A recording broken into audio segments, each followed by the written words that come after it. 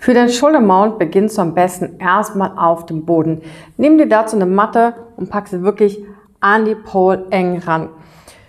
So, und dann positionierst du dich so, dass du mit der Schulter nah am Hals an der Pole liegst, ja?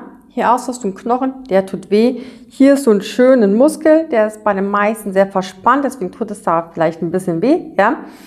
Aber da gehst du rüber, ja? Im Stehen hast du die Pole zwischen Schulterblatt und Wirbelsäule, also wirklich auf den Muskel.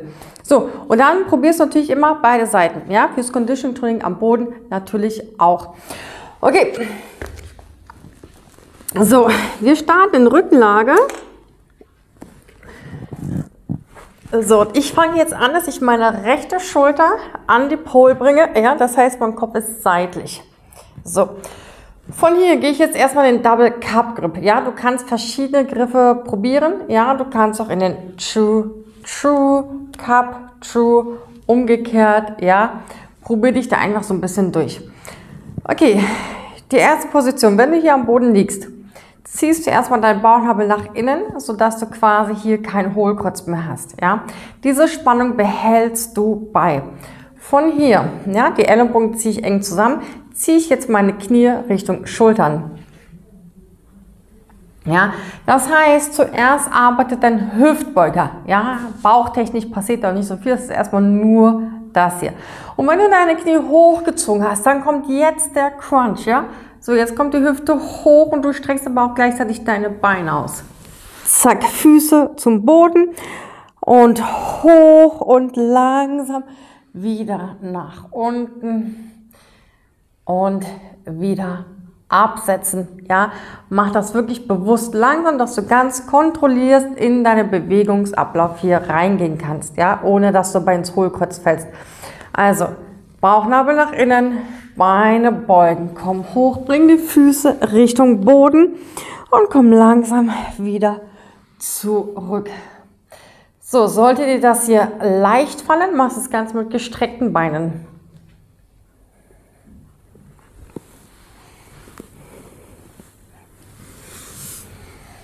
Und das kannst du jetzt beliebig variieren, ja? Also passt das deinem Level an. Wenn auch das dir jetzt zu leicht gefallen ist, dann ziehst du jetzt richtig hoch. Umso höher du mit der Hüfte gehst, desto intensiver wird das Ganze, ja? Also von hier, Füße Richtung Pol, ja? Und jetzt schaue ich aber, dass ich ähm, quasi in so 90 Grad Winkel bleibe. Das heißt, meine Fußspitzen wollen zur Decke und ich gehe trotzdem mit der Hüfte hoch hier. Zack. Und wieder absetzen.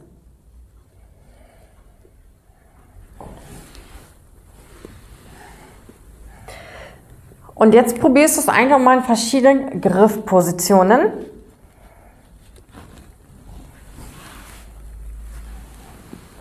Und schau, was dir am einfachsten fällt und wechsel dann natürlich auch die Seite. So.